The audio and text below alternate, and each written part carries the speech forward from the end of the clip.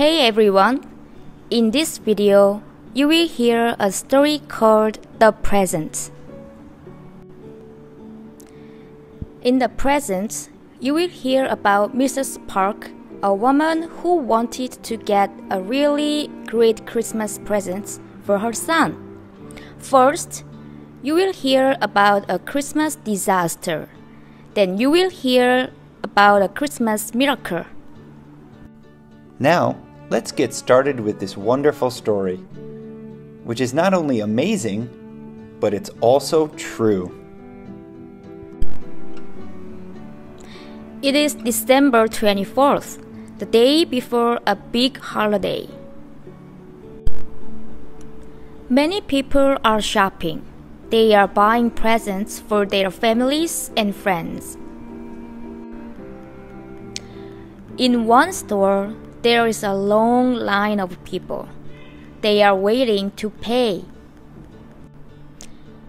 Mrs. Park is waiting in line. She is holding a toy. It is a present for her son. It is expensive. It is $85. Wow.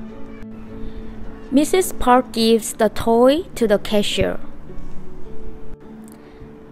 Then she looks in her purse. There's no money in her purse. Uh oh.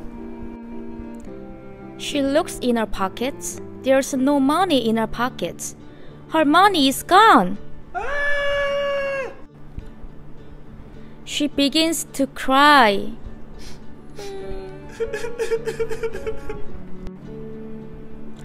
A man is standing at the end of the line.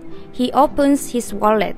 He takes out $20. He passes the money to the young woman in front of him. The young woman opens her purse. She takes out $10. She passes the $30 to the boy in front of her. The boy looks in his pocket. He finds $5.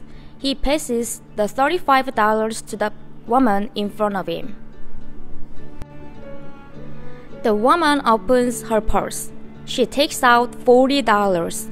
She passes the $75 to the young man in front of her.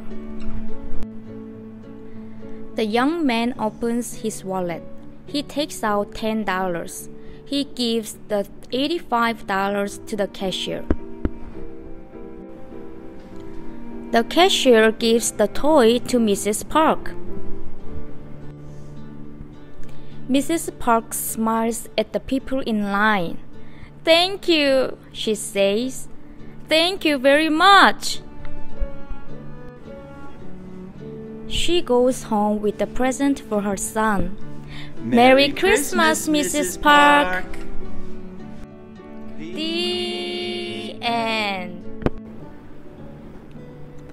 If you were standing in line at the store, would you give Mrs. Park any money?